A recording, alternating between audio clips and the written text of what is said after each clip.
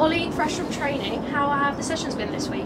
Good. There's a good intensity about this week. I think uh, boys are itching for a win. It's been it's been a tough month or so for the club, and we're, we're really keen to right the wrongs that we've done in the last couple of months. And um, starting out on, on Saturday night, which would be nice to be at the Madejski under lights. Hopefully, a nice crowd there. Um, and yeah, we're, we're, we're ready to go.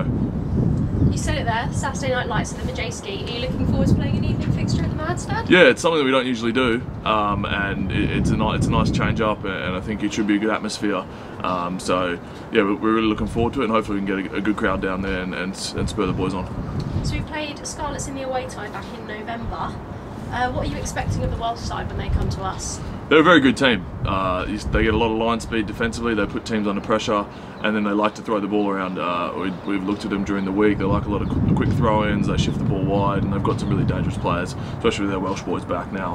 Um, and we're under no illusions that they, they need they probably need five points to qualify, so they're going to be throwing everything at us. So, so it's going to be a, an exciting game.